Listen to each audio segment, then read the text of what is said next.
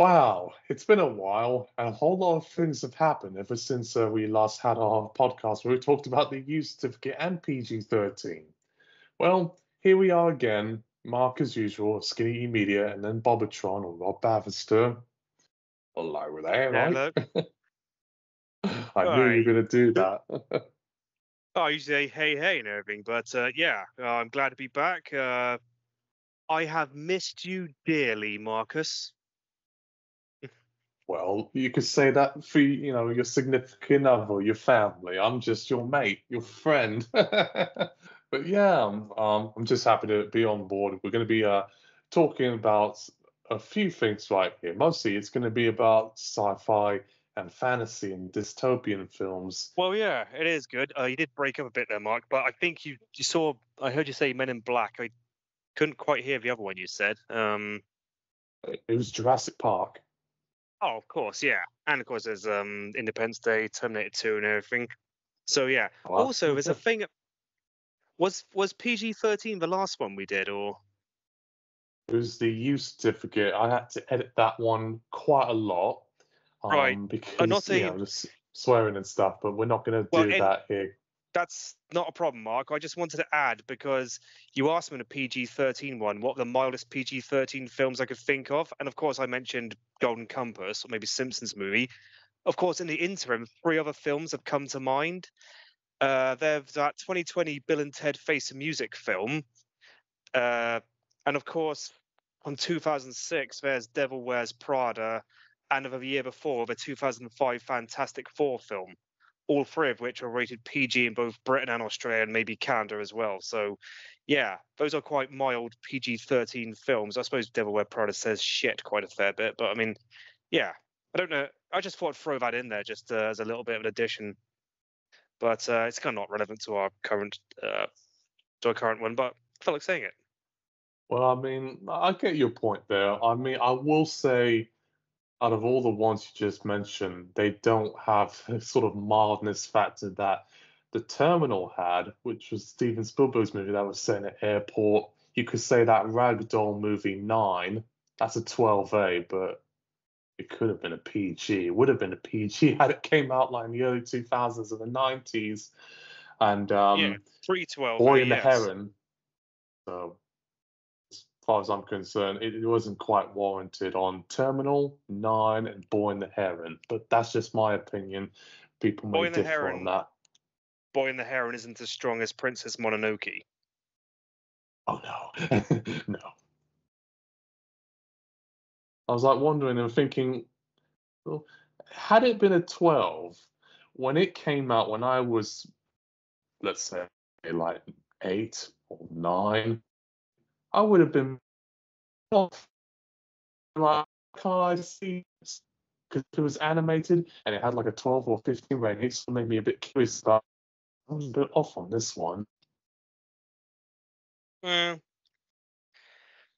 well, very possibly. I mean, again, you uh, again, I think you broke up a bit there, Mark. So I didn't quite catch that, but nonetheless, um, this isn't the topic of today. So, do you want to get started with today's topic? Well, just for starters, as always, what was your experience with this particular genre? Well, two or three genres together. Because Jurassic mean- Park, I'll let you talk about your favourite film of all time. Right.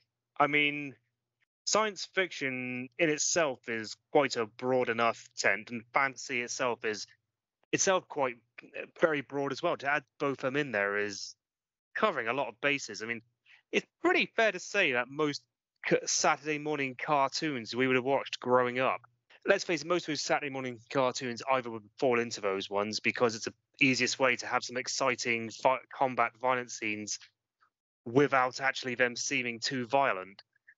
Uh, obviously, I mean, a lot of the cartoons from the 80s and 90s would be things like Thundercats, He Man, Transformers, which all fall under fantasy or science fiction, and then later, of course, Teenage Mutant Ninja Turtles, or fucking Hero Turtles as it was over here, because God, this country's a joke. Um, you know, a lot of that stuff was um, well, was an integral childhood. I mean, most of the stuff, as I mentioned, and of course later after that, I was watching um, Power Rangers, which of course is both sci-fi and fantasy rolled into one, because it's the easiest way to market ex- makes exciting things that are suitable for kids. Because you can't have a bunch of like, uh, you know, commandos or police officers and crooks blowing the shit out of each other with bullet guns, because it doesn't rub them the uh, moral guardians the right way. So, so I mean, to say where I started with it is quite, uh, well, well, you have to go back quite some time. It's quite hard to pinpoint. What about you, Mark? Well, you could say Toy Story, but you know, I'm trying to avoid using animated films that have the just the just because they're anime, they can show people who don't talk talk. You know, just to stay on the safe side, because I could go on about the animated films, but we'll just start with Men in Black, because mm, you know when people think sci-fi, that is a title that qualifies under that that genre. About I aliens, did get of course it does. Well, got into a bit of trouble for watching it when I was a kid because it had quite a lot of swearing in it. Um, mm-hmm. I thought, and some of it may have been a bit intense. We saw it at your flat and that movie still holds up. Years later, oh, it's not um, that's my memory of that particular movie, and I always liked watching it. Although it didn't make me learn to love the word shit, which um in PG films you could say a hell of a lot more than you can now. Hardly you even hear the word shit unless it's like a movie for pensioners at PG or documentary. It does tend to be um, it has has dropped a lot in PG films quite a lot over years, and judging by the new guidelines, it uh, probably won't will drop even more. Although they did say the it'll be sexual swear word or gendered swear words are going to drop at uh, PG uh, films more, which shit isn't one. So well, I don't know. Um, but yeah, it was quite. I mean, it is quite surprising that because you hear it was cut for a PG rather than a 12, but the cut, much like Memoirs of Invisible Man, the cuts are so minimal, it's you barely even notice them.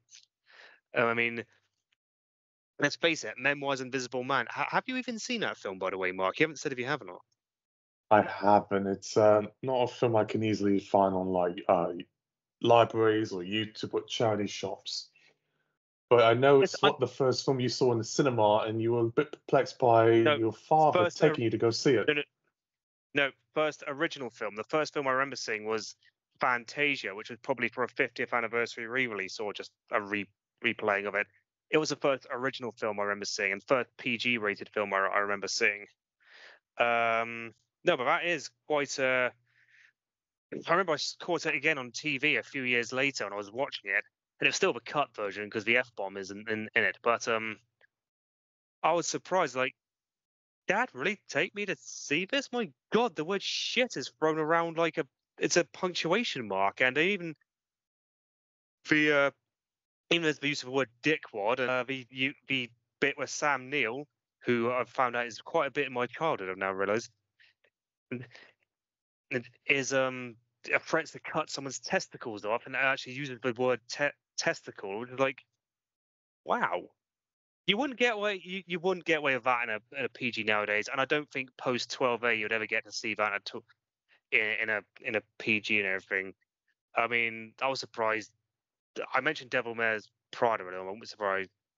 I know it's not sci-fi, but how am I to say shit? And so I surprised they allowed that back in 06. But yeah, but no, um, yeah. But I suppose that the first, it could be the first sci-fi film I saw at the cinema. Actually, now I think about it, because it is sci-fi. It's about the electronic turns a man um invisible. Don't think I saw any other of course, I saw sci-fi films uh, before on TV or video before that, as you I've mentioned before, if you know what I mean. Oh, I do.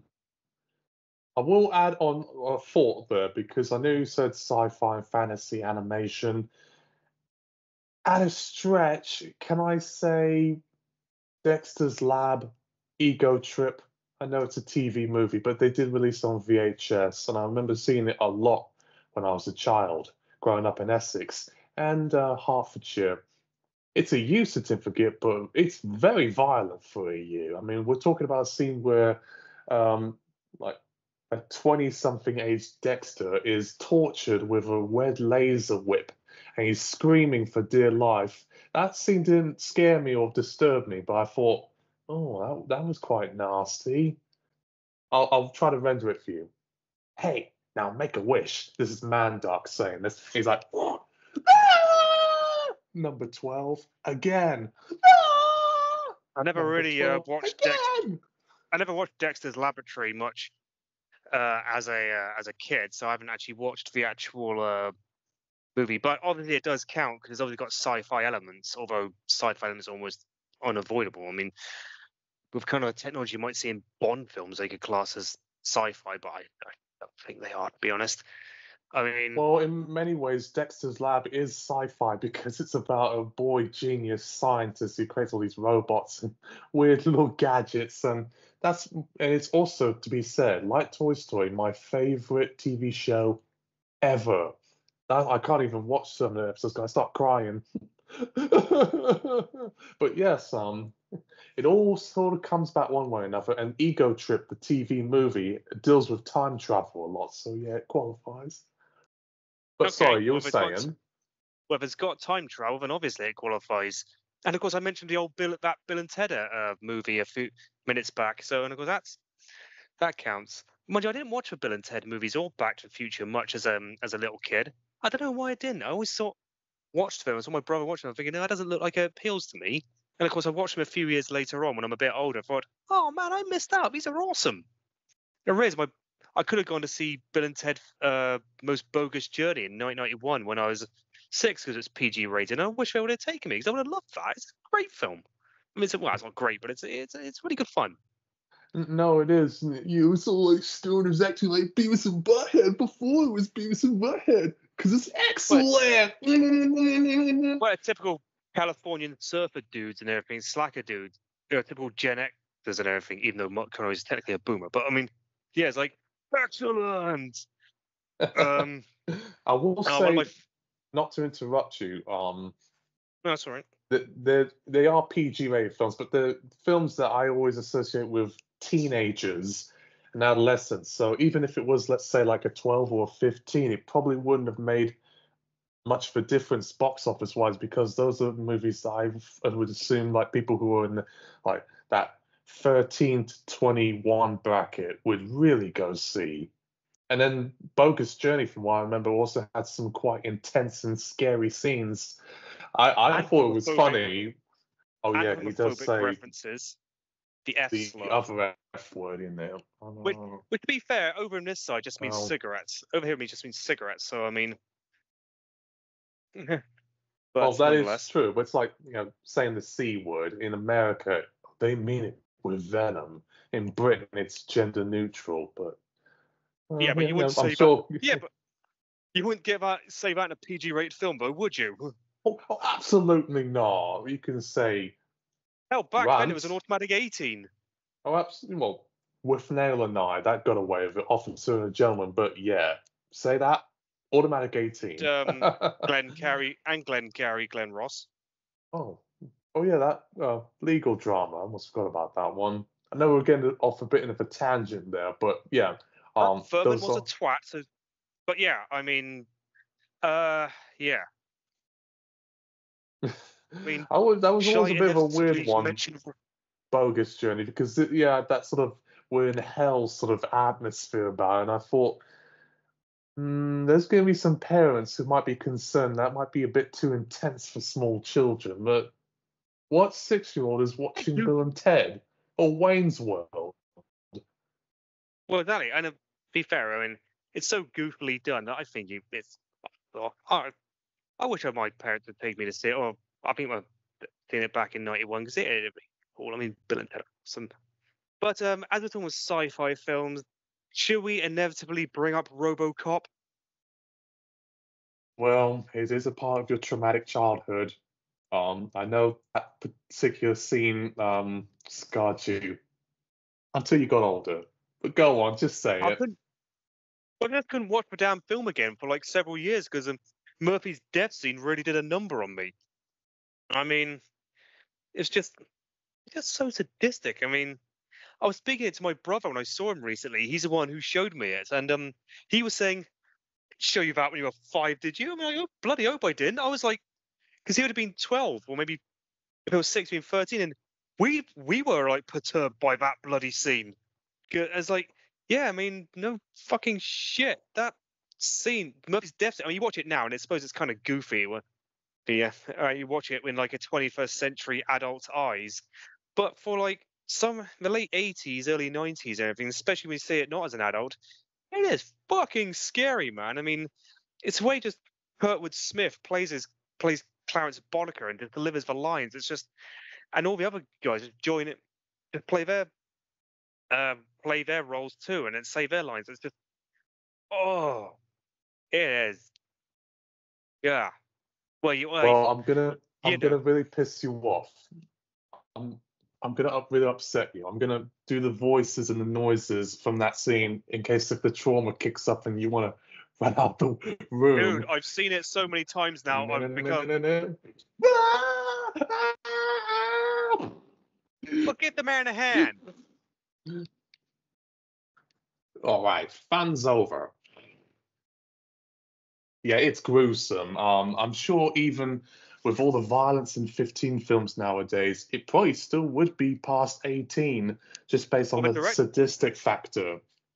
Well, the director's cut, it certainly would be. I mean, director's cut is still an 18. It's probably one of the few films back then that still warrants it because, I mean, let's face it, that's a thing that couldn't get through an R in America. It had to be rated X or NC-17, and I will stand up and say yes, it deserves it. It's what that rating is made for, so wear it. Um, so yeah, it does warrant its 18 now. I mean, I can watch. You can pass John Wick with 15. You can pass Logan and Deadpool with 15, and Joker with 15. And I totally say good on you, the because it shows that the BBFC are cooler and more based than they were. They're just not so just. Well, I've been through to them, but they're not complete pearl clutching prigs anymore. Although they've still got some ways Every to go. now and again, they slip up. yeah, yeah, they do. Well, I mean, we, we've talked about hot their hang-ups of horror, which we need to get over. But again, let's not get too bogged into it. But RoboCop, especially the director's cut, is fucking hard, and um, yeah, that that does warrant being kept solely at 18 or everything. Obviously, all the other 18 films from back then did have been recategorized to 15, and that's where they belong. Granted, because we can bring up, we're talking about uh, sci-fi, so of course again, just as inevitably, we have to mention the Alien and Terminator films. Yes, we do, I'm afraid. Now, those are movies that I'm probably fine at being downgraded to the 15 level. Um, most kids and teenagers have seen those films by now and probably weren't scarred by it, although I'm sure Alien probably gave um, you know, some young boys and young girls uh, uh, make them piss in their pants in fear. Terminator a lot less so, unless you're talking about the um, robot exo endoskeleton inside, and it looks, you know, sort of menacing. Be like, "Mommy, it's the T three thousand. But I know you saw those films when you were a nip. I didn't see them growing up, so I'll let you speak on this a lot more. Okay, well, first things first, before I go any further, um, me and Tom and some of his friends, we talk about um, the potentiality of the BBFC splitting the the 15 rating into a 14A and a 16 rating. And with that in mind, we actually reckon Terminator and Alien would actually fit quite comfortably into a 14A rating. Hell, Terminator 2 probably would as well, because you realize actually how tame they actually are. And I Alien is an, they're all amazing films. Alien is is brilliant. I think Aliens may be better, but that's your mileage may vary depending on what you want out of a film. Uh, Alien is freaking tame though. And there's only four or five uses of the word fuck depending on which version you you watch. And let's face it, the first version that was released would have, was a theatrical, which only had four the, uh, uses of it. Uh, there's no sex, nudity, or drug lang- usage or any of that stuff the only strong bit of violence is the chest burster scene, and that's barely stronger than anything that was you saw in Jaws four years earlier. In fact, it was ever rated X or 18. It was fucking ridiculous, and it would have fit perfectly into a the dub boundaries of a double A even back in '79. I mean, the, the the fucking BBFC have said it was only just because they thought the creature was too sexually perverse. They had to rate it X. Uh, although considering how the a lot of the special effects were made in Alien, it, it does is quite eye opening. Have you heard like what they used to actually make some of the special effects in Alien? No, not for like the xenomorphs and stuff. Well, well don't tell me they used like some sort of S and M level. No, that's not what they used. The the slime was used using KY jelly. I trust you know what that is. Oh, I know. And Not that I put it on bits- myself. certain bits of the alien were made using shredded condoms. Well, With talk about mind- kinky there for a second. I know H.R. Giger, who made the designs of the xenomorphs, he was a bit of a freak elite. Again, I can't help thinking that's why the the BBFC just looked at it. Ew, it has to be an 18. It's like you dicks. But Well, no, I mean the, Let me just stop you for a second. By that logic, then they would have had to raise Edward Scissorhands' rating to like the the 12 he was gonna get, or even 15, because Edward Scissorhands, which is a fantasy film by the way, he's just like some sort of S and M fetish character. He's just missing the ball in his mouth. yeah, but dude, Mark, you just used the word logic. That didn't apply to Ferman's BBFC. I'm very aware of that. I'm just laughing. It makes for good banter. But sorry to interrupt. It you. does. No, it's okay, man. It's okay. I mean, that's what we're here to we're here to talk. Um, yeah. So Alien is a great film, and um, you know, it's yeah, it's barely stronger than 12A, but obviously the chest burster doesn't really prevents it from being that. But if it if there was a 14A and a 16 rating, 14A would be fine. Uh, you could say the same about Terminator. The word "fuck" is mentioned a few more times in that. Uh, according to IMDb, it's eight times. Although, feel free to double check that if you want to quote me on it. Um, there's there's one sex scene, but it's quite tastefully done. You don't really see much. Uh, in terms of gore, well, there's the heart scene and ripping scene, and the uh, scene with the eye with the eyeball in the in that uh, motel room. But again, minimal. You don't see him. You don't just see the heart being ripped out. You just see him holding it, and it's just like it's clearly a, a fake prosthetic over an android. Again, if it was if there was a 14A and a 16 rating, I'd put it 14A. Same goes for Terminator 2, So Tame, and the action and the and the high octane action uh, tone of Terminator 2 makes it even tamer, if you ask me. But fucking god, is Terminator 2 an awesome flick? I watched it not too long ago, and uh, I just said, my god, they don't make movies like that anymore. I mean, and they just don't. I mean, the only film I can think of within the past 20 odd years that's reached that sort of level of awesomeness or that scope or scale of awesomeness is probably The Dark Knight. Well, I'll You take your word for it because I know you're a big fan of two of those films. He, he shared a list with me on private messaging showing his top 10 favorites, and T2, Judgment Day, and Dark Knight certainly appear on there, I'll say. But I, kind of get what you mean because it's As the visual effects for its time were very strong. Yeah, As does Aliens. Well, a lot of people like that one particularly. Did um, that was James Cameron who did Aliens, not Ridley Scott. Uh, yeah, yeah. James Cameron did Aliens, just like James Cameron did both the first two Terminator films. So, yes, A- Aliens is technically stronger than Alien, in that there's much more swearing. The word "fuck" is mentioned a lot more. There's no nudity or sex or anything in it, uh, or any of that crap. Uh, no drug abuse, uh, gore. There's probably a bit where you do see another chest burster scene, but in that chest burster scene it's actually tamer because it's really dark and you don't really see anything. And all the deaths are mostly off screen with minimal minimal impact. I mean, maybe it would be in a 14A rating. I, I don't know. I mean, again, this is just me spitballing because Well, I'm going to a complete hypothetical that they would just split 15 into a 14A and 16. But I mean, have you ever thought about that potential scenario of a 15 being split into a 14A and a 16? Have I mentioned it to you Um, before? Not in this instance. I thought, you know, because the BBFC guidelines were published uh, since we last had our podcast, I was assuming they would do like a pilot scheme, like they did in Norwich with the PG 12, which ultimately became 12A. But no such thing. It's still really much pending, and I don't think there's going to be a 15A or 14A anytime soon, or or 15 is going to be bumped up to 16. Just like Double A was 14, but then they bumped it up to 15, made it you know more clear, less vague. But hmm, it, it does make you wonder a little bit. Um, I, I think Terminator 2 and Matrix and Mad Max Fury Road which I saw, you know, that's a 15, but it could have been a 12A in my opinion. It, it is. Oh no, that's R rated. Dude, it's R rated as well. I know. I, I thought, oh, it's going to be you know quite a bit of blood. I'm swearing. They only got like two scenes, like someone's uh, mask was ripped out of their face and there was some blood, and then someone got shot and there was some blood, but it was very brief. You almost couldn't tell. I saw more blood in Beowulf. That's a fantasy film, by the way, and that was much not, more graphic. Yeah, and the not just the um the blood and gore, but swearing is minimal as well. I, I can't remember if there's blood fuck is it maybe you mentioned once or twice, but it's not exactly a cluster f bomb movie, is it? I didn't really hear any sort of profanities whatsoever. It was almost like when I saw Prometheus that was kind of on the borderline between 12A and 15. Like, if they just cut out maybe a, a, bit of gore or try to twist around the abortion scene, they probably could have got the PG 13 knowing them.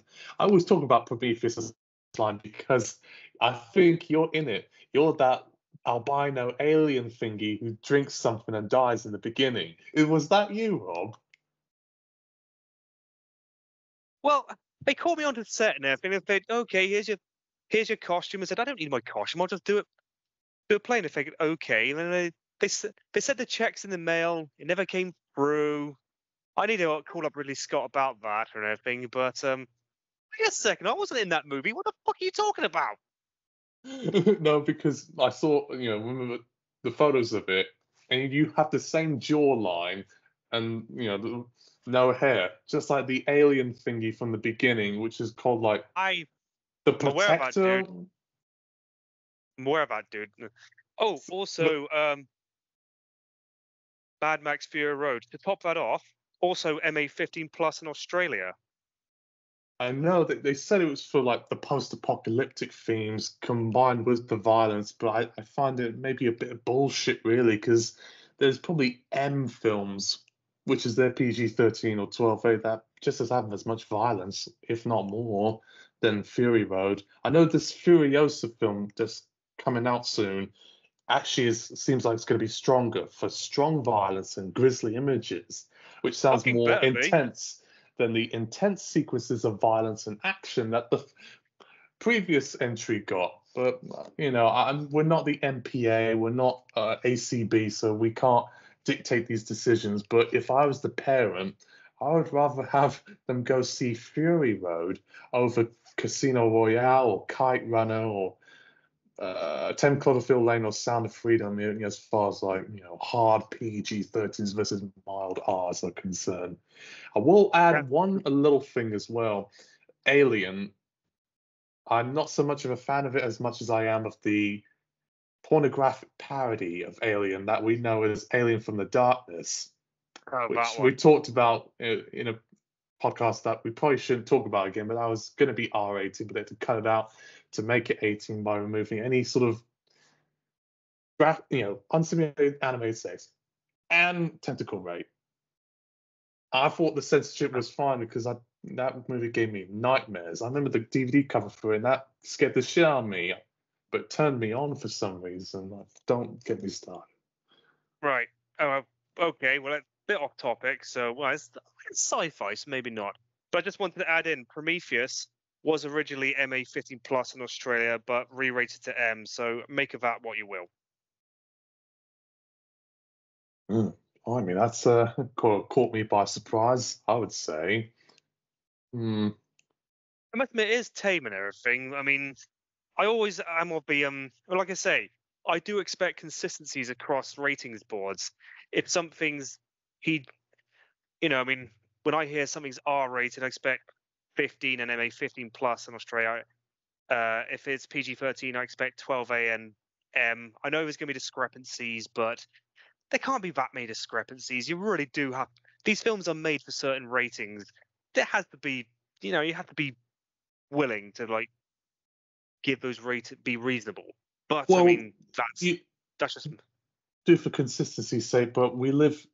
I don't know. I'm was almost going to say we live in a society, but we live in a world where the 15 and R films are so bloody and graphic these days. You know, when you look at the old school 15 and 18 titles, it almost sort of throws you off a bit. Like, oh, that was mild, or "Eh, that wasn't really anything really. Um, only a few stand out like RoboCop, which still packs a punch to this day. But you you think to yourself, like with Matrix, for example, I could let my 12 or 13 year old watch Matrix because that's what I did. I watched it with my father, and I didn't get mentally scarred by it. Da Vinci Code scarred me more so than Matrix. That is true. Try to reel Um, it in a little bit. Um, I don't know if you want to bring up on dystopian films because I did hint at it with Mad Max. Which Well, there is that. Uh, But oh, how do you consider, let's say, it's not really sci-fi, but it, it people think it is Clockwork Orange. I we could talk Well, about that one for hours. So we'll I've try only to reel seen it a bit. once.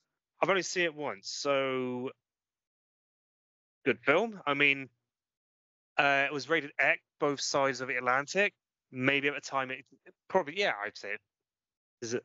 Yeah, it warranted it. I mean, there's like the rape scene would probably would get stop it from getting dropped down to a 15 nowadays because obviously it's not exactly as strong as an impactful was. It was never actually banned, of course.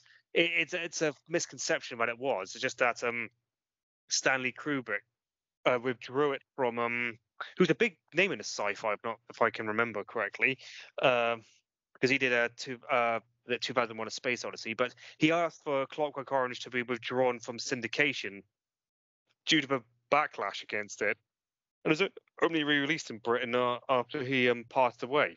So yeah, I mean it's a it's a good film. I mean, uh, it's quite you really think it's just about thugs going around beating people up, but it's more about like how supposedly decent people can be turned to violence because when he came back and he was uh, sort of cured, as I cured artificially, everyone just basically started beating the fuck out of him and everything. But no, know, Uh, it- it's always an interesting one to bring up, anyways, because I know we've talked about it on a few occasions before. But when that film sort of, I heard that it came out, I saw the previews for Sky Box Office in '99 or 2000. I thought, what is this dangerous movie you're not supposed to see? Because the only reason why I knew about it was because my father confessed to seeing Clockwork Orange in New York when he was uh, there in the 80s, escaping Thatcher's Britain, only go to Reagan's America. But they, they had the legal opportunity to watch Clockwork Orange in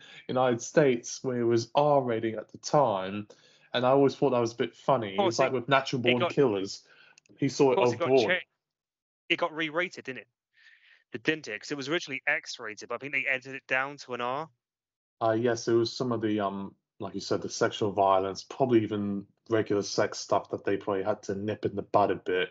So I actually don't know what the original version actually looks like. So I've only seen, you know, what I assume is the X BBFC or 18 version as it is. I mean, regardless, that is one movie I can think of that should never be downgraded to 18 uh, to 15 like they did with Fight Club. If they downgrade it to 15 in another 30 years, I will put. That world means the world has gone to shit. A movie that controversial can be seen by even more people now. But you know, Right, but I mentioned earlier on that basically it's probably the rape scene that stops it from being 15. Um, although I mean, don't know how much of it you actually see, so it probably could downgrade to a 15. I mean, obviously, every time a 18 gets downgraded to 15, I consider that a win because it shows that we're we're liberalising. Britain's becoming much more progressivist, and the BBFC are. are well, I've spoken about this ad infinitum and everything. Um, but um, I don't know where am I going with that. I would because I wouldn't exactly give it a frickin- I wouldn't exactly um uh, consider it a bad thing if Clockwork Orange gets downgraded to a, a 15. Most Ferman 18s probably pass for 15 nowadays. If it Exorcist is only still in 18 because of that crucifix masturbation scene. So I mean, now you mentioned dystopias because I wanted to segue into my next point because it's not really sci-fi. This next film we're talking about it's certainly not fantasy. It's very gritty and realistic, but it is technically dystopia. I've just recently, I don't, I think you have as well, seen Civil War. Now that's a movie I could go on for hours, like I do with Da Vinci Code or Toy Story, but I'll nip it in the bud a bit. Yes, that is very much a dystopian, and Alex Garland himself, he done 28 Days Later, he has done sci-fi in the past, but this is a movie that we both saw, and I thought the movie was going to have problems with censorship because of the politics, and there's probably going to be chances of terrorist activity, like there was in Aurora, Colorado, when they showed Dark Knight Rises. But none of that materialized, and I've heard more people complaining about it being kind of vague and a bit well. How come it doesn't speak for the left? We sh- it should be more anti-capitalist. But in a way, you get sort of best of both worlds. If you're left wing, you watch that scene with Jesse Plemons saying, "What kind of American are you?" You're thinking, "Okay, he's MAGA." Or the scene with the guys with the n- nail polish and the dyed hair, they're probably coded as gay or non-binary, and you're thinking, as someone on the right, "Oh, look at them Uh, woke libtards." I can't. I sorry, uh, my memory seems to be failing me. I can't remember those ones.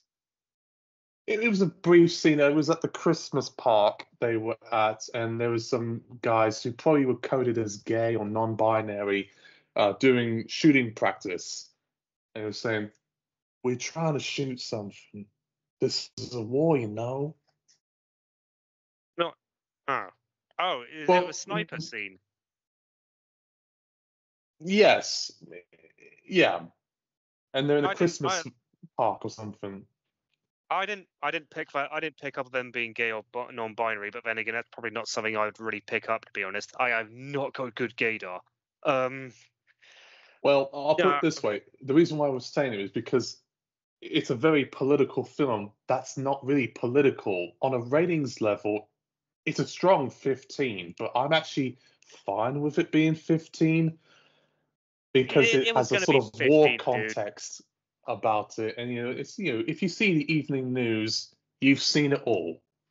I'm a little bit more flexible with it if it's more sort of like showing it for what it is and it has the sort of journalism context and if it's like a sort of shoot 'em up sort of thing like John Wick or Gorefest like uh, Deathgasm. But what was your take on it as far as the, po- the political controversy? right. Okay. Well, you mentioned uh, earlier about they thought there was going to be a cause for political shooting, but you mentioned the Dark Knight Rises in Colorado. I'm surprised you didn't mention Joker and the fear of it would inspire incel uh, violence. I don't think it would. Uh, probably not likely. Um, but no, I mean, I. But yeah, it is politically very vague. I mean, you don't really get much backstory as to. You don't even know what the ideologies of all the various factions are. You're not even told who you're meant to be rooting for, who are the good guys, and who are the bad guys. But then again, that is the point. Uh, it is meant to be like that. I mean, when you're in the war zone, and what it's like to have this stuff going around you, that it almost becomes just a background noise. Um, it, it you stop thinking about the politics of it or the um uh who the side you know, the ideologies and who are who's fighting who for what reasons fighting who. All you know is just that like there's death and destruction and carnage going around you. And um and that's about and uh, you just become desensitized to it. They even mentioned it in the sniper the scene you mentioned the sniper scene as well they someone asked them about the politics ideologies of it- and they just said someone's trying to kill us. We're trying to kill them before they can. Or i don't know if that's exactly what they said. They said words to that effect. And it's like yeah that's all it is to these people. It actually reminded me of a lot of film two films it reminded me of actually. Um, you may find this a bit weird, but uh, first of all, it's for two, Steven Spielberg's 2005 War of the Worlds film, which we could should have mentioned earlier, or any War Worlds films, and uh, the 2010 film Monsters. Uh, I don't I know if you've seen kind of either of those get that. because no, I've you're- seen War of from the the point of view with of- Tom Cruise. Yeah, that's what I meant. Because it's all from a point of view of people on the ground. It doesn't really. you don't really see much for people who are in the higher echelons of power, sort of plan to like doing all the war plan or or basically waxing on about the situation or sort of thing. It's all backstories given through well either some brief news reports or from the or some background and everything, and it's yeah, it's meant to immerse you more into it. Which at first I didn't actually like when I first saw War of the Worlds, but in retrospect, I've realised it's about show don't tell. It's like, oh, okay, I get it now. So yeah, Well, so I mean, they say about Quiet Place. You know, that movie's quite understated. It's sci-fi, but it's also horror as well. Um, my approach with Civil War was a little different. Most people, most of my friends did not like that movie. I did. It's my number one favorite of the year so far. It's because I watch a lot of news, particularly from DW and France 24 and uh, NBC News, BBC, and all sorts of material, including, yes, Tucker Carlson and InfoWars. It does make me quite paranoid, and I start picking on little tidbits here and there of, oh, this is supposed to be this, this is supposed to be that. You know that scene with the uh, Jesse Plemons guy with the sunshades? He's like saying, What kind of American are you? I bet Yeah. you were thinking, oh, that's supposed to be some sort of MAGA white nationalist guy who's probably right wing militia. They don't say it Well, I- overtly, but it's obvious he's quite racist because he questions about people's nationality. that that was pretty that was pretty obvious. That was pretty in the that was about as on the nose as it got really. I mean that it was pretty obvious what they were on about. I mean I don't know if it was meant to but yeah, I mean he did strike you as one of those right wing militia types who's watched too many InfoWars who believes in too many of these black helicopter conspiracy theories and you know one of those Timothy McVeigh types. Um so Oh. yeah, I mean that was uh pardon? No, no, but you're right. I'm sorry I'm laughing a little bit there because I, I remember seeing it with the audience that I did see it with. There wasn't any sort of shit that was stirring up. It was a healthy mix of older and younger people, and it was ethnically mixed. I don't know what the audience was like for you in Cardiff, but I'm sure it was mostly kind of young people who are already like Corbyn voters who are kind of paranoid about a Trump type of government occurring in the UK. Oh, to be honest, I went a lot of people there actually. I went to see him in IMAX down Odeon where we saw Blue Beetle. Oh, yes, Um, of course. Yeah, I went to see it. Don't want, and yeah, they finally fixed that bloody light, by the way. Um, Hallelujah. uh, yeah, took them a while because it was still flashing. To uh, two months later, I went to see Killers of a Flower Moon, but let's not get off topic. Um, there were there wasn't many people in there. There was a but the people I saw in there were relatively young. I think younger than me. Uh, they definitely looked younger than me. Um, I couldn't vouch for their politics. I didn't talk to any of them or interact with any of them. I think they were just there to watch a film. But this is Cardiff and everything. There aren't a lot of young people in Cardiff that are right wing or anything. Most people in Cardiff, especially young people, tend to swing quite quite hard to the left. If only if only for well, South Wales in general isn't exactly uh, isn't exactly friendly to the Tories, and they mostly vote Labour for economic reasons rather than um uh progressivist reasons. But Cardiff's quite a progressivist uh, place, so yeah, they won't. Well, I'm rambling a bit here, but no. Uh, yeah, I don't think many of the people there would have been hardcore Tory or Nigel Farage type UKIPers or anything. You don't get many of those types in Cardiff. Well, at least that's reassuring there. I hardly get any trouble when I was in uh, Cambrai. I love I love your country, by the way, mainly because they speak a language that that English people long time ago used to tell them, "How dare you speak it? We'll put a sign that says WN on your shoulder as punishment." So I'm glad that they have the linguistic authority that other parts of the UK, particularly Scotland and Northern Ireland, don't quite have. But that's beside the point. Did you wear a shirt that says? Because I wore a shirt uh, that was from Ramones, and it had the eagle with the. Uh, Ah, I don't think I've seen that one to be honest. So I mean, I can't really, uh, I can't really uh, comment to be honest. So yeah, I've not seen seen that one, but um, and did you wear honest, like a fuck Trump shirt? no, I don't tend to wear. I don't really wear many political statements on myself.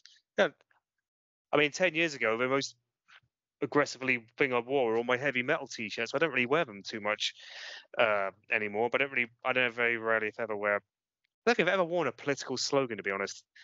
I mean, Well, you might be doing do. yourself a favor because I don't want you to get your head kicked in. Well, if you do, you're Jason Statham in uh, Moonlighting as Jason Statham. He kicks a lot of ass. I'd be scared to meet him in the dark, especially if I looked at his wife. However, let me change the subject a little bit because I know people have been talking about Civil War on news platforms and stuff, but people who are curious about that one or didn't like that movie, they really need to see The Purge. And I brought it up on the Vigilante podcast, and they are dystopian movies about an America where all crime is legal for one night, 12 hours. They are some of the most uh, violent and quite biting 15 films I've seen, at least in my lifetime. I mean, these are movies that essentially play on people's sadistic imagination about, hmm, who should I kill next? well, yeah, it is a bit, um, yeah, kind of a few plot holes in it because you say like all crime is legal in what for one night, but then just, but the night goes at end then everyone just goes back to being law-abiding citizens and, and what? Everyone just goes back to getting along. This person just tried to break into your house and kill and rape you or uh, everything. Probably not in that order, but I mean, I think the night before and now you're working with them the next day. Yeah, I don't think that really just tracks, but um.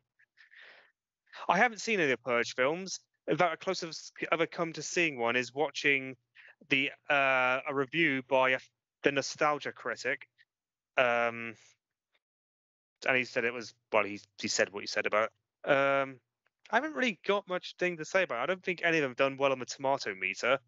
Uh, Well, I know you're a bit finicky about um, RT scores. Um, I personally am more flexible about it. I really don't care. But as as far as I'm concerned, to the audience who's listening, take my word for it about Civil War. If you didn't like it, or if you did, watch Purge Election Year, Purge Four, or First Purge, and the Forever Purge, and you'll see kind of where what Civil War sort of lacked as far as an overt political message or more graphic violence. The Purge films more or less make up for it, as does the movie The Hunt, which got into a bit of trouble because they had to delay the release because of a mass shooting in El Paso. And then the movie had trouble when it actually got released because COVID. So mass shooting in people America. who A mass shooting in America. Oh my God! Whatever next. Well, it was like a death wish. They had to delay the release because of some scandal. And also part of the delay was because the marketing for The Hunt, which is a dystopian film, does make it look like left wing elites killing and murdering sort of working class right wing people from like Montana or Wyoming or Idaho. And It it's all played bad, as like the most dangerous game sort of thing. It kind of is that, though. I mean, let's face it. I mean, it is sort of like a bunch of liberal elitists are basically hunting a bunch of MAGA types and everything, which gives you a bit of moral ambiguity. But I mean, at the end, they realised that the main character in it wasn't even the person they thought it was. It wasn't even a, a MAGA type and was a most apolitical individual. It's like, eh, a bit of a cop out, but okay. Well, uh, if you take out the politics of it, and the- this sort of dystopian setting, it's actually quite a clever, dark comedy action thriller. It's not a horror movie at all. I don't know what Blumhouse was thinking, but yeah, it, if you you know, that's why I recommend it for people who like Civil War. But that's beside the point, really. I could have said Well, you know, anyway, Battle Royale or uh, the, Running Man. Those are dystopian movies, and Battle Royale certainly was controversial for being very violent. oh, very violent, very. It didn't get a release in the US for a long time. Yeah, there's a good film and everything in the film, but um, uh, it's obviously what Hunger Hung- Games was based on Hunger everything, but which is another film we could talk about. But one film I, well, two films I wanted to talk about. Well, kind of three maybe, because obviously we're talking about dystopia. We're talking about uh, sci-fi, and of course dystopia. We've got 1984. And of course, sci-fi. We've got The Matrix. Of course, it makes me of that 2002 film with Christian Bale, Equilibrium. If you've seen it, the following activity has been rated EC10. That's the one bit I remember from that movie, and I, my father, he wanted to see, and I was like, okay. I didn't feel like it was like a full 15. I mean, there was some blood spurts, and I think like a scene where someone is sliced in half. But even that felt a bit cartoonish to me. Maybe I was not seeing the same film as you did, but the film, in some respects, actually is kind of pertinent to what we have now, like V for Vendetta is, because I think there's a subplot about um, books or sort of media being burned or censored, it, which is what they're the- doing sub- in Ron DeSantis in Florida and shit. Mark, that's not a subplot. That is the plot. They basically destroy all forms of art because it might um, cause uh, people to feel emotions which they're trying to repress. Exactly, and I wish I appreciated that message when I first saw it, but it maybe I because of family reason it just didn't materialize. But 1984, um, which I read in school and saw that film from 1984 that had John Hurt. He always talks like that.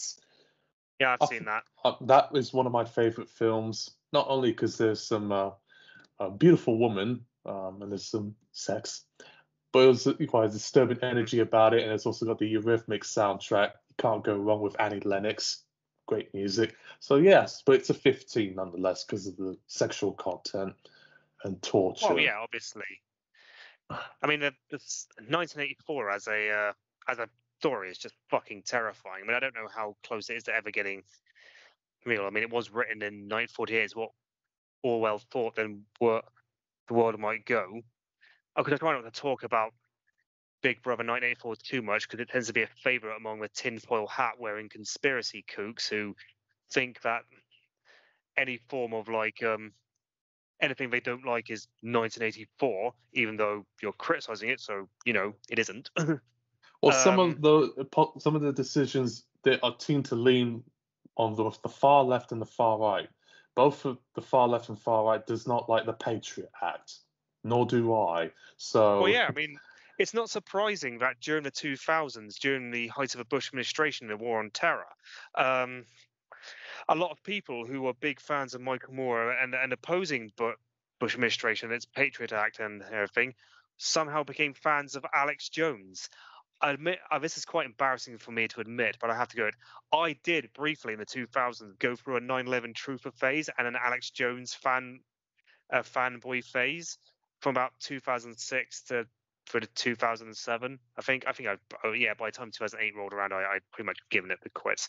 Uh, got over it, but I mean, I It's used to embarrassing, listen to a lot of Alex Jones myself too. The globalists are gonna come and get you. Yeah.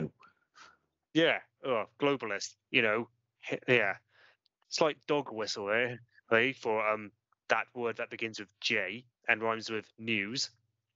Um, yeah, but uh, as I was saying, yeah, it is quite embarrassing. But of course, you know, he used to talk about uh, 1984 as well, and of course, we saw things like the Patriot Act and um, the constant fear of Osama bin Laden and the need to constantly invade countries. That just, and of course, a lot of people said, "Oh, this is what Orwell warned warned us about." I mean, it probably wasn't, but I mean, yeah, but fuck, Do- fuck W anyway. What he did was shit. Um.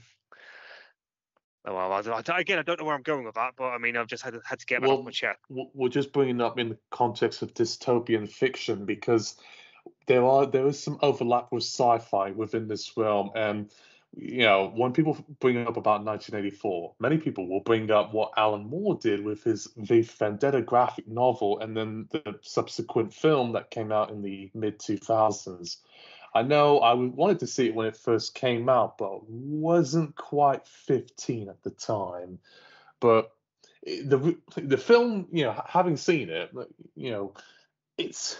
I'm actually surprised the movie even got financed and cleared for Warner Brothers in DC because that is certainly one of the most subversive films I have ever seen.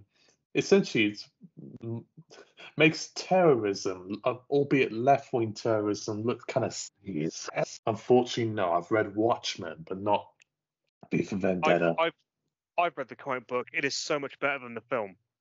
It does is it does go a lot more um into the nitty gritties of it though and everything because it's so much more more ambiguous because the it is overtly fascist the uh the, the regime that's taken over Britain and everything. They're called Norse Fire. They it, it was based very much on the politics of the 1980s and of the rampant homophobia and everything. And and of course, what's his face? Uh, the terrorist V is an out and out anarchist, which is what um, Alan Moore is for record, and uh, I'm sympathetic towards.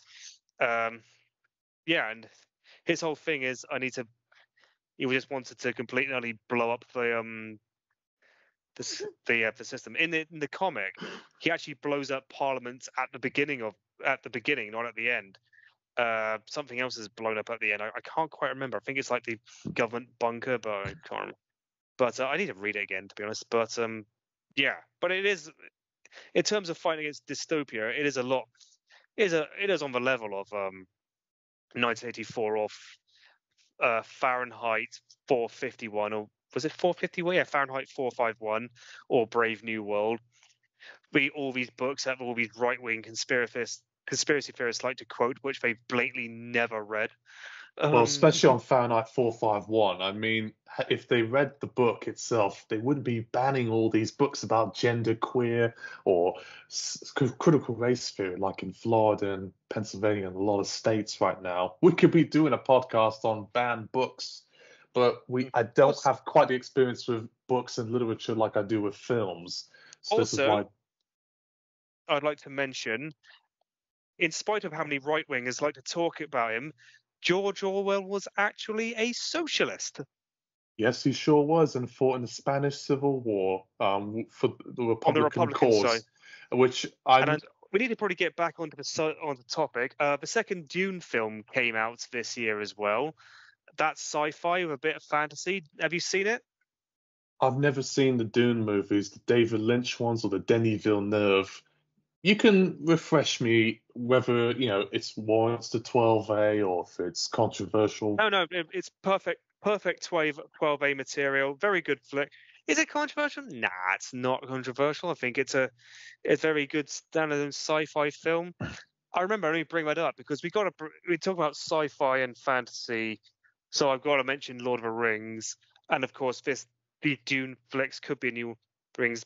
When Tolkien wrote Lord, read Red Dune, he didn't like it. He felt a bit too morally grey and morally ambiguous. But it's like, yeah, dude, you fought in the bloody you fought in World War One, but you're like um you've got a very romanticized view of the world, which a lot of high fantasy like uh Lord of the Rings does. When it was well, um when Dune was I'm not quite finished. When Dune was um uh, written a bit later on. I can't remember who was the name of the guy. The guy who wrote it fought in World Herbert. War Two. Yeah, he he saw a lot of the romanticized imagery that fascist regimes used to um, propagate their um uh their regimes and to, and to uh, get this warmongering mentality going. And he really he can saw a lot of that was quite similar to what Tolkien wrote. I'm not saying Tolkien was a fascist. I don't think he was, but still at the same time is like that's why he wrote uh, it in such a morally ambiguous way as did um notice british fantasy author michael moorcock if you've heard of him and unfortunately i've not even heard of many of these people i know it makes me seem a bit dumb but oh don't worry I mean, not everyone has i mean michael moorcock isn't the most famous one in the world but i just wanted to add that one in i mean Star Wars is another thing we've got to mention, and we haven't got round to mentioning. And I'm very, and, and most people are probably thinking, "Why am I going to mention Star Wars?" So I mean, you know, I mean that's like probably the greatest, probably the biggest sci-fi franchise of all time, unless you want to count Star Trek, but I don't know. Um, well, yeah, well, Star Wars and Lord of the Rings and Harry Potter, they're pretty much the trinity of sci-fi and fantasy. Everyone has seen the films and knows about the lore. I will sort of just briefly point out from my experience on them because I'm not as big of a fan of the franchises, but Harry Potter, I grew up near where they filmed the movies. The first three films were PG, but the others are 12A, which sort of threw me off a little bit because, you know, these are films that are aimed at kids. As I guess because as you know, people who grew up with the books got older and older, now they probably weren't as afraid about, oh, it's a 12A, you can't take younger kids to go see it. Well, you can, but it makes it seem like it's a bit more edgier than it actually is. Lord of the Rings, I do remember seeing uh, Fellowship of the Ring in the cinema. I don't really care much for it, really, but I I'm aware of J.R.R. Tolkien's Christian roots and how it was also an animation in the 70s when a lot of animated films were not A rated or PG that much. They, it wasn't a common rating for animation at the time. And it was from Ralph Bakshi, done Fritz the Cat. Yeah. And it was, you know, got violent at Watership places. Down wasn't. No, you, well, U certificate, but Lord of the Rings was A certificate, which um Which, which Hmm. begs the question: What made him want to give an A if they were going to give a U to Watership Down? But that's off topic. I mean, well, this is James Ferman we're talking about. I, I know that, but he gave a U rating to freaking. Wat- uh, Let, let's not get bogged down in that, okay? Um, And yes, was uh, the first uh, Lord of the Rings movie, Fellowship of the Ring, did get away with a PG rating for when it was initially. It's now a 12A, and it fucking should be. Um, but like, good grief! I remember watching that back in 2000. Well, actually, early 2002, actually. Thinking to myself, this is the strongest PG I've ever seen. Well, maybe since Jaws, I think. And those kids, little kids who clearly didn't like it, it's like, this is only not a 12 because parents want to take their kids to see it, and the BBFC just decided they had to to avoid unnecessary complaints. What a surprise! The next two films released after 12A were both rated 12A. So, yeah. Um, but I've mentioned that so many times on our podcast. It's become a moot point right now. Um, well, that's what people have said about Jurassic Park when it first came out and Lost World, which is sci-fi, but they had a special caveat on the PG saying this film is not suitable for anyone under eight, which I always thought was a bit strange. They brought it back with that Time Machine movie that was in 2002 with Guy Pearce. I always found that a little bit strange, and you know, Jurassic Park also had the on the PG disclaimer at the back of the deep VHS, strong fantasy. That you don't see the word strong violence in films unless it's 15. That always threw me off a bit. I mean, well, it that- well it is a bit unusual, yes. I mean, I'm gonna. I noticed that Time Machine was also rated not only PG-13 in America but M in Australia. Um, it's only a matter of time if you ask me when that that film gets upgraded to uh to what's it um 12A, but uh we'll wait a that time. Uh, I also wanted to bring up Your was Star gonna Wars. bring- Yes, I was going to bring up Star Wars because we're talking about the politics of it, and um, while obviously the Empire is modeled very heavily on Nazi Germany, it is also based quite heavily on the British Empire. What of all the um, or well, the British people playing the in positions of British actors playing the uh, officers and everything, but there's also uh, at least when the third film came out, there's a bit of reference to the Vietnam War there, with the Ewoks defeating the the Empire being like the Viet Cong defeating the U.S. military. So I mean, yeah, I mean, it's very obvious George Lucas was a was a bit of a le- bit of a lefty, but it's a trait I've noticed um, among these type among um uh, these uh, these sort of genres. Sci-fi tends to come in with quite a left-wing bent, whereas uh, classical fantasy and epic fantasy tends to swing more to the right. I mean, I'm not saying again. I didn't say Tolkien was a fascist, but he he was a bit of a devout Catholic. He was probably a Tory voter. I, I never think. Whereas one of the biggest sci-fi writers of of uh, history is, of course, H.G. Wells, and of course, he was a renowned lefty Labourite socialist. I mean, you don't even have to. Well, that's obvious if you've read any of his material, any of his uh, stuff, his bibliography. I'm aware of the Island Dr. Moreau and Time Machine that he did and War the Worlds um, from the particular passage, and slowly and surely they drew their plans against us. And I know with War of the Worlds, particularly the original radio program, it actually caused quite a storm when it first came out because they thought this actually is happening. It's almost like a sort of don't know if it, uh, war blitz type of mindset. You better hide because they're going to come. I think that's actually considered an actual misconception, or at least some people might have panicked and um, uh, might have been.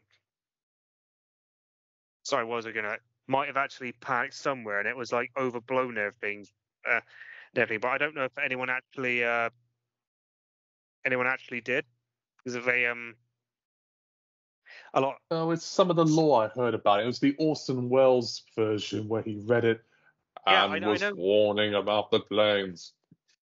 Yeah, I I, I know about that. I, I I'm very aware aware of that. Um, what was I going to say? But I think it may be a miscon uh, misconception though, uh, because um, just trying to find it now on Wikipedia, which is a bit unprofessional of me, but hey ho. Yeah, there was um, yeah, I think it's actually considered to be a bit of a uh, misconception. If you look, yeah, the War of the Worlds 1938 radio drama. Um, I'm not going to read that right now.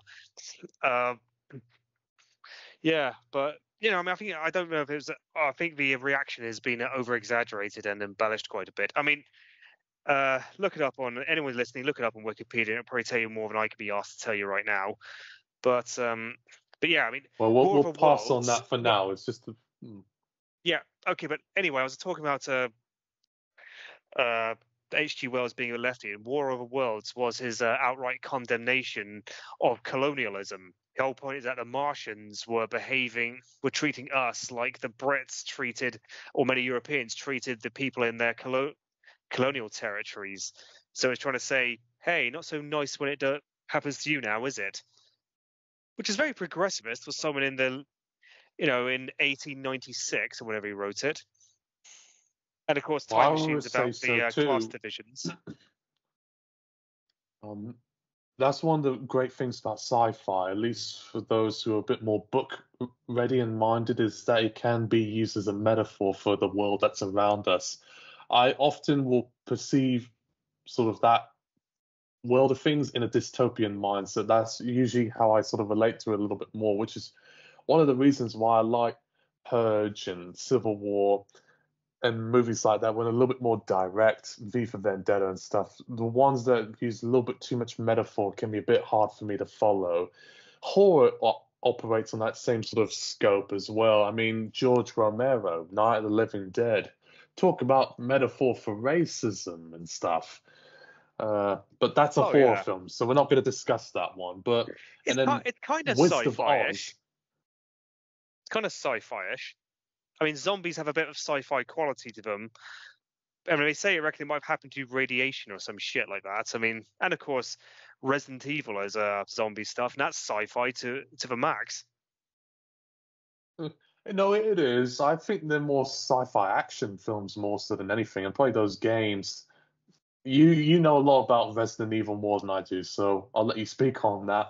Um, I know from what I was told that the first film actually was rated NC-17, but they had to cut out some stuff to get it to R, which is a bit weird because the film was 15, just when 15 films were starting to get a bit more violent, bit by bit by bit. Dog Soldiers, good example, bit by bit. Definitely good example.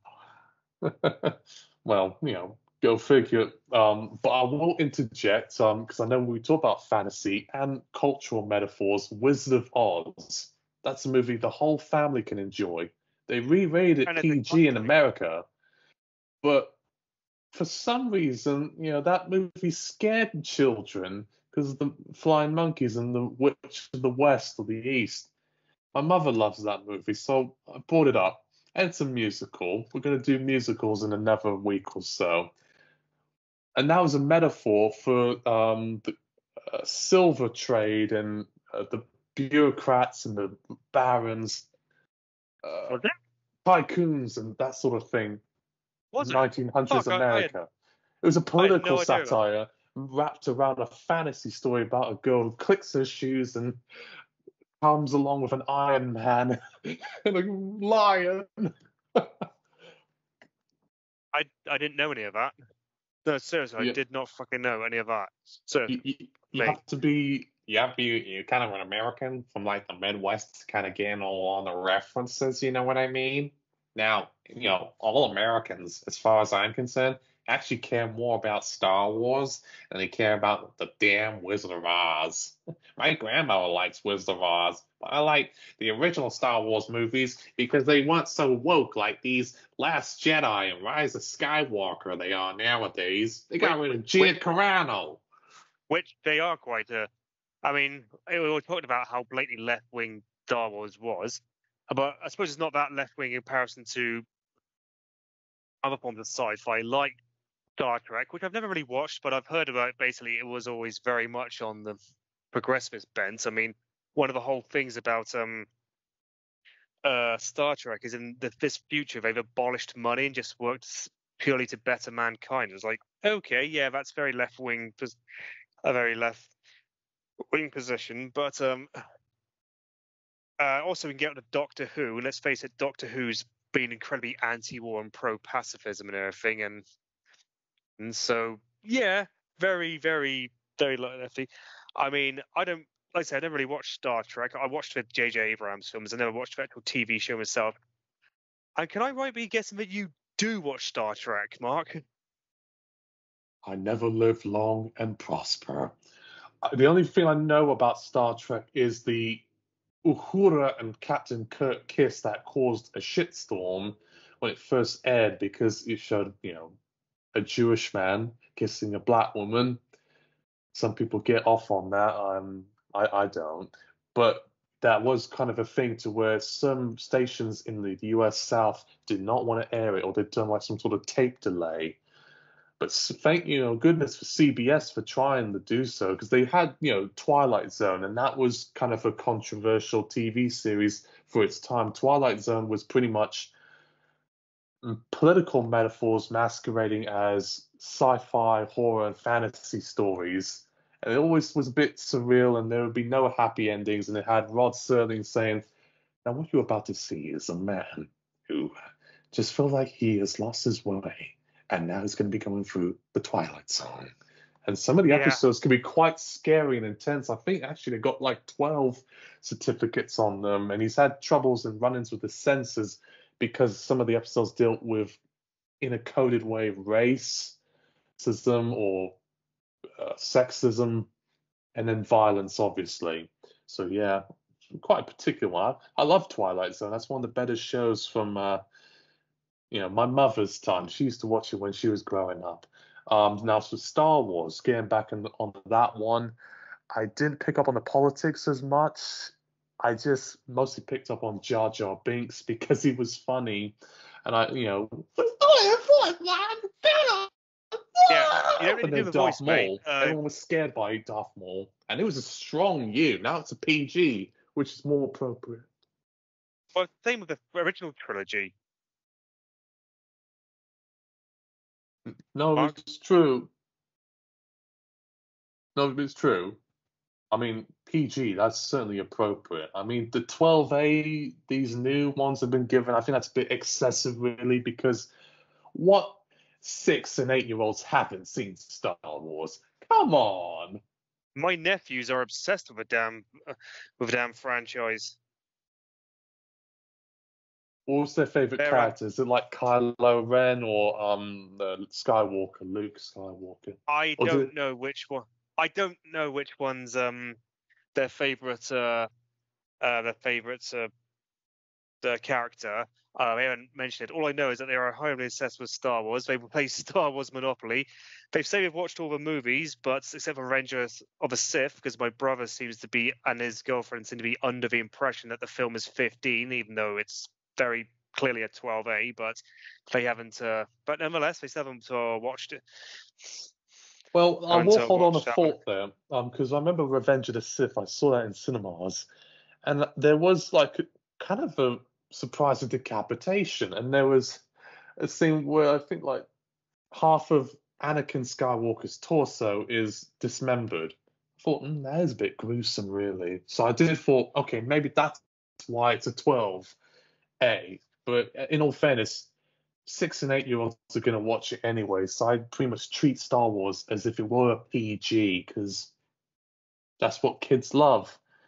Um, I don't have that same sort of view with uh, like John Wick and stuff. Those are, you know, in my head, I'm sort of old school about things. Those are films that would have been an 18 back in the day, and stuff like Star Wars and Marvel would have been PG back in our day. Well, Star Wars was bloody you back in our fucking day. Yeah, man, uh, exactly. There was Seriously, some debate that they were going to pass Empire Strikes Back in A, but because of the familiarity of the f- first one, which is A New Hope, they said, we'll keep it as you as that. Yeah, well, yeah, that, that was fair enough. I mean, if they passed Watership Down as bloody U, they could probably get away with passing Star Wars a U. Obviously, it would be. I was surprised they kept for you when they re-released them in the '90s because that would have been a uh, would have been PG by then to go along lo- alongside things like Jurassic Park and whatnot. And yeah, the Star Wars films were in initial releases PG in America, which does make sense when you think about it. I mean, no one would expect those to be G. They even say it was, for example, for stronger PG back then. But anyway, let's get on. But uh, but um, um again, I think they don't know where I'm put them going. at PG 13, you know, all these big budget movies, even though some of them probably don't deserve it, is because they think if it's PG, it's a kids' movie. Well, yeah, that's, that's not the fault of the. That's not really the fault of the censors. That's the fault of the public, assuming that it somehow, if it's for children, then it must suck. What a dumb way to view things. I'm sorry. I know I said it before, but I'll say it again. That's dumb. It is a bit, really. I mean, let's face it. But uh, unfortunately, PG's got on both sides of the line has gone that way, with it being allocated to Frozen rather than Jaws, and that's just the way things work. I mean, God knows it'll be. Who knows? Maybe in 30 years' time, we'll be seeing 12A rated uh, Disney uh, Pixar flicks or PG 13 rated Disney Pixar flicks, and then we'll just see those as kids' films. And basically, again, they'd have to create some rating in between PG 13 and R and 12A and 15. But we've discussed that earlier, and it's like, well, this is the new one for the uh, for the you know middle of the round family friendly flicks. And uh, anything rated R or 15 will be the, the grown up flicks. But again, um, again, we might be getting off topic here, but I'm just trying to think what other sci-fi and fantasy films uh, we could talk about. Oh, it was we did Can we- mention uh, Golden Compass last time, right? Can we No, say about PG. Shape of Water? I've not seen Shape of Water. I uh, is that an M Night Shyamalan flick? That's Lady in the Water, which Yeah. that was PG, but PG-13 stateside, which I, don't I don't know much about that one. But Shape of Water is a bit of an interesting one because Guillermo del Toro a fantasy film, and that one had quite a bit of uh, weird kinky sex stuff, um, which is fine at 15. Basically, they said it was promoting bestiality, and it was essentially a woman who can't speak and is, is a mute, uh, falling in love with some sort of fish monster thingy, and that caught a bit of a storm on right wing circles, thinking that the movie was going to endorse bestiality or something. Well, compared to Clerks 2, I would say Shape of Water is much more restrained than that. Or even but compared Clerks to 2 Splice. takes- Yeah, but Clerks 2 takes the piss out of that sort of stuff, though. I mean, uh, so I mean, yeah, it's best. Well, I haven't seen Shape Water, so it probably didn't pay piss this. And yeah, Well, 15 R and MA 15 plus, so got the trifecta going there. Um, maybe Splice is a better example because that uh, is a 15 film that I did think should have been an 18 because of how disturbing it was. It had the weird incest, pedophilia, bestiality element with the, the sex scene because it's supposed to be the uh, Adrien Brody's daughter, and then the daughter ultimately rapes the mother at the end. I'm like, okay, that gave me a nightmare. Uh, Did it? uh, Wait. Wait, in Splice? yeah, there's um incestuous rape involving the mutant toward the end, and then that sex scene that people jerk off to on X videos of Adrien Brody and the mutant. There's she's not only the daughter, but she's a child, and she's not fully human. So it's a weird taboo mix of incest, pedophilia, and bestiality. I kid you not. Do you think that should be a 15 and you? I don't think so. Uh, I watched the damn film. I didn't really. See, I don't think I saw quite remember this stuff. I remember it just being a typical 15 rated uh, sci-fi drama flick. I didn't see any issues, but then again, I'm quite finicky on what I think might deserve an 18. Uh, well, think of it like David just Cronenberg. Um, I know. I was going to get onto. I was going to get onto that actually because we talk about sci-fi. I can't believe I mentioned David Cronenberg. I mean, and of course, uh, he's got he's got some. Well, yeah. How many of his films have I actually seen? I've seen The Fly. I don't know what else I've watched of his actually. Did I? Oh, did he do Naked Lunch? He did and Videodrome, History of Violence, Not seen that. Eastern seen that. Promises, The Brood, Shivers, Dead Ringers, because Jeremy Irons plays double. I have not. I have not seen that. I have not. Have I seen Brood? I don't think I've seen the Brood. Um, Oh man, you are missing out. I, I, he's do- actually I- much I- better than his son. I've, you know, his son to Brandon is makes awful movies, but Videodrome is a masterpiece. It's certainly an 18 certificate as far as gore and sex is concerned. And uh, The Fly, I know it's an 18, but I thought maybe it could be fine at 15. I know it's got a bit of lingering gore because the guy's leg sort of is spit out with the uh, insect venom and it's quite gory at the end, but it's probably fine for 15 year olds.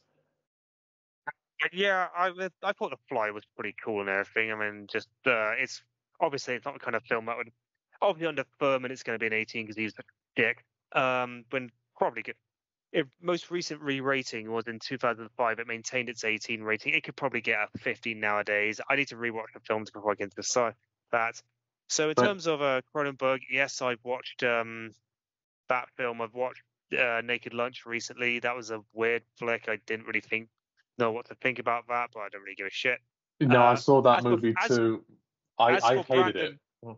Right. Okay. Well, as for Brandon Cronenberg, I saw um, uh, Infinity Pool recently. I have to admit that was quite a good film. Quite fucked up in some ways because of all the shit they get. Um, they tend to show there, but um, pretty cool knowing that we got the complete uncut version where. Due to America's fucked up way of doing things, they had to cut it down to an R rating. They cut out all the cool shit. So, um, because I talked with this with the Canadian guy on another podcast and with uh, Joseph Ingham, and we were just left wondering like, come on, if anything, they just could have released it on Netflix and bypassed it altogether, unrated. But no, Oh, the powers that be NC-17. always are in charge. or with an NC-17 rating like we did with Blonde, because with Netflix, who gives a fuck? Well, I think maybe they let that one slip with Blonde because it was a marketing opportunity they could capitalize on, and it was a you know sort of a big title with Ana de Armas. They probably wouldn't do that with any other film, if especially if it's like a sort of lower level. They won't advertise it as much. They'll just put it on the service and put it as unrated, like they did with 365 Days, which is a S and M drama from Poland, as far as I'm concerned. But yeah. Um, I know with I mean, sorry, I was going to say, but um, I don't really think the whole big. Like I say, I think they, they said that streaming is probably a big new lease on life for the NC-17 rating. They said because it's going on streaming and not going to the cinemas and everything, they can rate it NC-17 and everything, which is, I think, very based, very cool, needs to be encouraged. And um, but then again, streaming doesn't have to be rated at all. So I mean, on either side of Atlantic. So who gives a fuck? But no, you actually got a good point there because um, there have been some. Because I sometimes browse around. When I was in the US, I did see certain titles, and they had them online, uncut, I believe. Killer Joe, um, Cook, the Wicked. thief, his wife and her lover, um, Lust, Caution. Those were all, you Mm. know, NC-17 Oh, man, I excellent, wanna but they had them on these streaming platforms, and that made me very happy because I thought now they're breaking the, the, the, the chain ever so That's uh, DVD that and is pretty- Blu-ray. They even still have like um like special screenings of it that people sort of throw stuff at and laugh at showgirls. Like, okay, that's a bit weird, but there you go. Um, I know those aren't really sci-fi movies, but Poor Things is considered a sci-fi movie to some extent. Well, it is. I won't it's go basically on a a- lady, Lady Frankenstein, isn't it? But yes, we did mention about the censorship it received. It was worldwide. And as far as the rating is concerned, you probably thought, oh, it could have been like 15 out there. But I thought it was awfully kinky. Like, certainly one of the more sexually explicit rated R films I've seen, at least in a while, since X by Ti yeah, West. which begs the question. You know, I mean, you know how I stand. I expect consistency. So if it's like it's 18 here, it's like okay, it better be R18 plus in America, in Australia, and it better be freaking NC17 in America. And it wasn't. I mean, I know NC17 America is a tall order, but R18 plus in Australia, I could at least expect. Like X was R18 plus fair, so it was like, you know, but uh, I lied. Neither here nor there. Um, well, I'm just trying to think what other uh, sci-fi stuff there is. I know um, Amazon is going to do a. Uh, something like doing uh, a series based on. I was going to go Fallout, yes, but I was going to say Warhammer 40,000 Games Workshop stuff, which um, I don't know if you ever collected that growing up. I collected a bit of it. I know a bit of the lore. Fucking looking forward to it. Henry Cavill's and Uh, I am not that much of a nerd. I never played Magic the Gathering or Pokemon or Beyblade. I Right, wouldn't know what to War- tell you, but you can go on. Games about it. Workshop.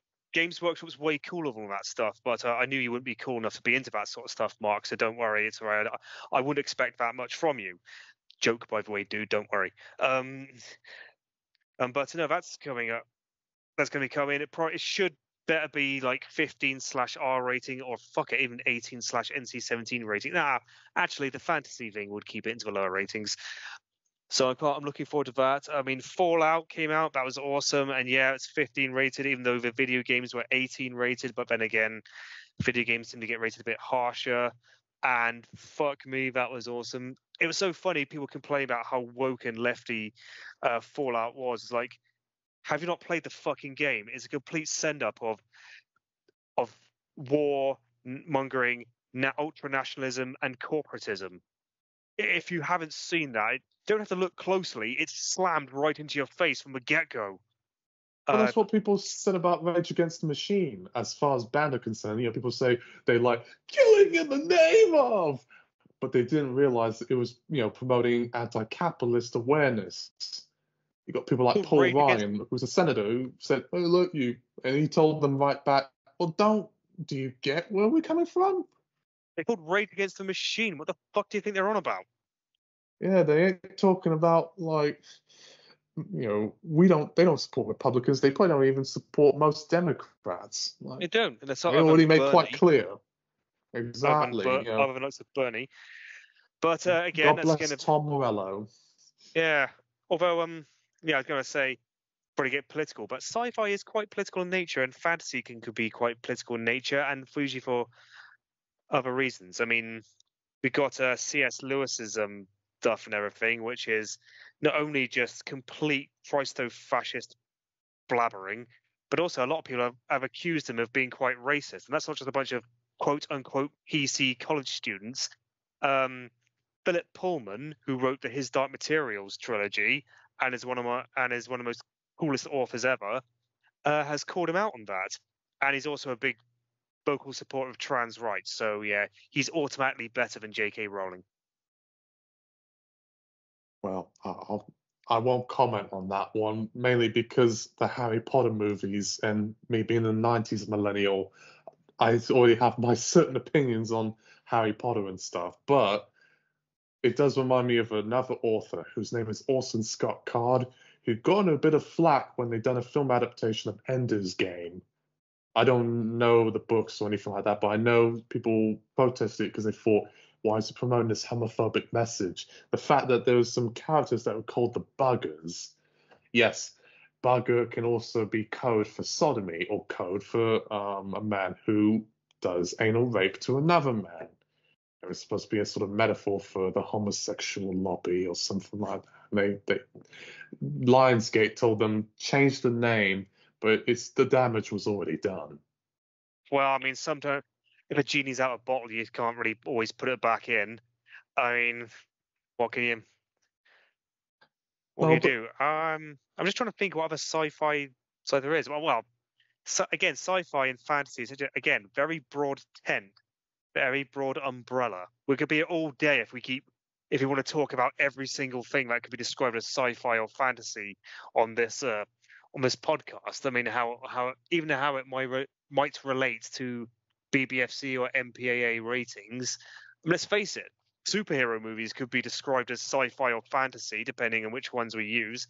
Um, obviously, and if most are sci-fi, like Superman, Spider-Man, Incredible Hulk, most of it, well, even Iron Man because he uses technology. Well, Batman has got a bit of sci-fi elements to him, but of course you've got ones like Shazam or Wonder Woman, which are more fantasy because they've got more magical elements to them. Uh, oh, and and Thor and Doctor Strange and all that all that bollocks. Although Thor kind of in the films tried to make it more sci-fi, by saying it's not magic, it's just cutting edge technology, which is uh, which makes me think of Blade also because that's not fantasy vampire, that's um, sci-fi vampire in that it's a virus that causes vampirism. Uh huh. That makes sense. Oh, I'm rambling a bit here. Right, uh, but uh, you know, we could have mentioned all the of superhero stuff and Endgame. I know that was, you know, it was a 12A, but it was a bit more of a higher end because the decapitation of Thanos, and then uh, I think there was some heavy sword fighting Thanos, involving Hawkeye. Thanos was, dude, Thanos wasn't decapitated. Thanos' death was quite. Uh, Endgame is very central. Most Marvel films are very central 12A and PG 13. The two that have really pushed both those two ratings are, of course, last year's Guardians of the Galaxy, and more egregiously, the previous year's Doctor Strange and Multiverse of Madness, which, oh my god, I when I watched that, I was like, I was like, fair play, BBFC, you've actually really done, really showed yourself to be quite cool by passing this 12A. Usually, I put, you know, you think yourself, oh, they're such get your pants scaredy cat girlies for automatically rating horror films 15 is like this is a 12A. Very based of you. I'm very impressed. You you've uh, you know gold star, thumbs up, big tick, A plus. You uh, prove yourself to have some bollocks, some backbone.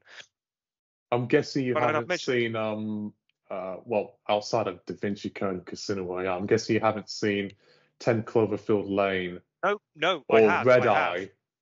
No, I have, I have, I have. I watched Red Eye quite recently again, actually, and um, that movie was first disturbing. Things, first things first. First things first. It's a lot better than Flight Plan, which came out the same year and has a say and is, and is also a thriller based on a plane. So there's that. But uh, no, I mean it, it is quite that's quite cool to show what they will pass 12A when push comes to shove. But they need to be a bit more consistent with that and stop putting all these 15s on these frankly on these PG-13 rated films because it's not making them look good. It's not making us Brits look good. Uh, Ten Cloverfield Lane was quite was quite a based decision of theirs. I give them the thumbs up. Uh, if only they could keep that momentum up, but they're not, and Boo sucked to them for it.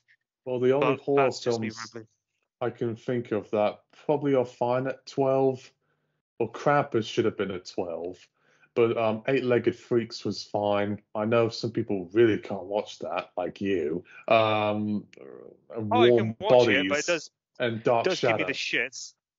I can watch it. It just gives me the shits. That's all. um, but another one I wanted to bring up sci-fi wise is because I keep hearing this through forums because everyone says you should have been 18, bro. Upgrade. I don't know if you've ever heard or seen of it, but it's like no, Venom. Seen, seen up, seen upgrade. Yes, I've seen uh, upgrade, dude. Yeah, it's very much like Venom. Yeah, it's the only proper R-rated one. Remind me a bit like RoboCop in the sense of a man losing his uh, humanity to a machine. Yes, uh, I've seen it. I liked it. I thought it was brilliant. Perfect R. Because I hated that slash... movie for some reason, but I've